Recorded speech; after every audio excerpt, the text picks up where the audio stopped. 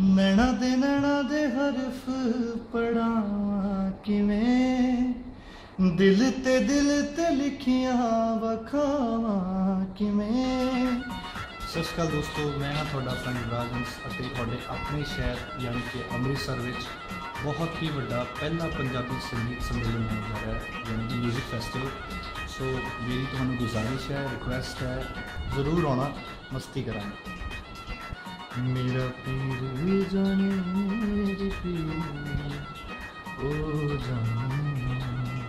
মেরা পীর জানে মেরে পীর জানে